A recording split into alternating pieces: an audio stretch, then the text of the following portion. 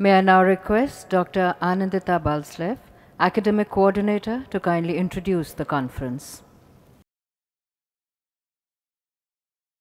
We have assembled here this morning in order to celebrate the 150th birth anniversary of one of the greatest sons ever born to Mother India.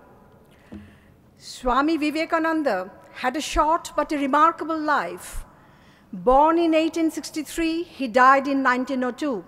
And yet, within the brief span of these 39 years, he ignited the moral imagination of such a large number of men and women that we can rightly say that he had ushered a new movement whose impact can be felt even today.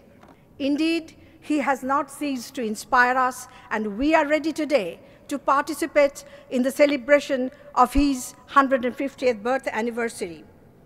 This is an occasion when it is, of course, natural for us to wish to recapitulate once again the most frequently recalled incidents and episodes of his life, highlighting his extraordinary strides and the glorious moments of his success. But we feel the more important task for us is to rethink his thoughts, share his concerns, retrieve some of his bold visions with a view to carry forward his unfinished projects. Evidently, this calls for commitment and continuous effort on our part that goes far beyond the celebration of a birthday anniversary.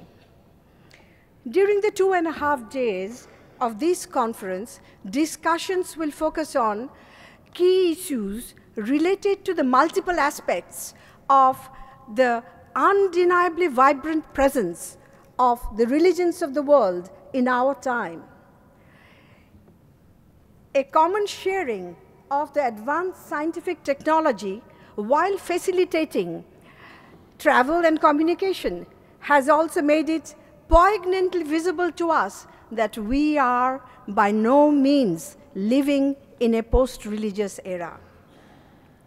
It seems to me that as long as the largest aggregates of humanity will draw their norms and values, derive their sense of collective identity, the topic of this conference will remain on top of the agenda of an open global discourse in a global setting.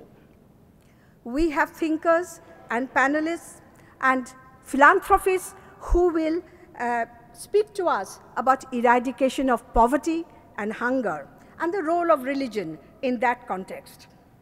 On March 9th, which is the final day of this conference, the venue shifts to the multipurpose hall, India International Center, where eminent personalities like His Holiness the Dalai Lama, Maulana Wahiduddin Khan, along with Dr. Karan Singh and Reverend M. Tutu will join us in an open conversational setting where I will play the role of an interlocutor, gradually inviting inputs from others as well. Let us all keep in mind that the really crucial question before us, not only for this conference, but it's a concern of our time, that how do we move on to a collective plane of collective existence where diversity of religious traditions is no longer seen as a cause for dissension. Think of a global scenario. Think of the implications when such a state is achieved, when the presence of the world religions is no longer seen as a divisive force, but as a common resource that can enrich and empower all of us in ways that is not even possible for us to imagine today.